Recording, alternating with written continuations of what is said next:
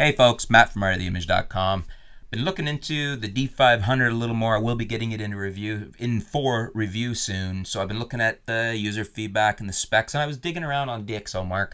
I just recently did the video on the tests of the 500 versus the 7200 and the uh, 5500, and I was surprised to see that um, for high ISO, both of those cameras beat the 500. So check that video out if you're interested. I was hoping to get some feedback, some user feedback from those of you that are shooting both.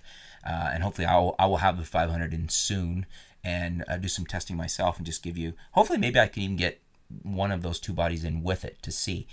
But where the 500 does clean house, where it's top king of the pile, is against the Canons. Check this out here. So we've got the D500 versus the 80D and versus the 7D Mark II. These are essentially Canon's top end APS-C bodies right now.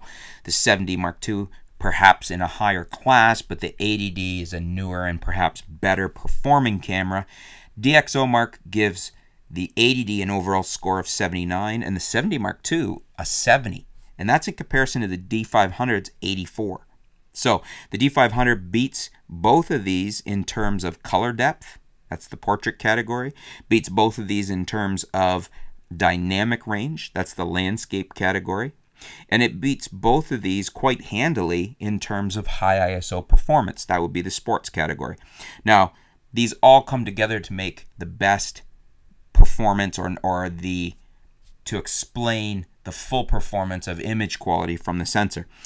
Perhaps of most interest would be the low light ability, and that's 1324 rating on the 500 versus 1135 on the 80D and 1082 on the 7D Mark II. And then probably the next biggest thing of importance would be the dynamic range at 14 stops versus 13.2 on the 80D and 11.8 on the 7D Mark II.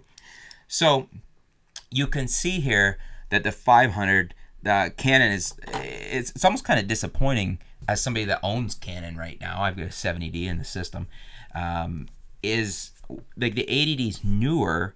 Uh, actually, well, it's right around, around the same time as the 500. But but essentially, they don't have anything APS-C that beats the best of uh, Nikon. I mean, the D7200 and the D5500 uh, are as good or better than this 500, according to DxOMark. And the 80D is the uh, Canon wasn't even able to catch up. They did a 24 megapixel offering, and it can't even match the 7200 or the D5500. That's kind of disappointing. What do you guys think? Does that is it close enough in real world terms that you don't care? Does it just irritate you that Canon can't match Nikon even playing catch up? They can't leapfrog and it, we're not talking about being able to leapfrog and lead the pack. We're talking about they can't even play catch up and be on par. What do you guys think? Leave your feedback below. Let me know what you think about that, what these tests mean to you. Do you care? Um, why? Let's discuss it a little. Thanks for tuning in, folks. Stay tuned. We'll be back soon here at artoftheimage.com.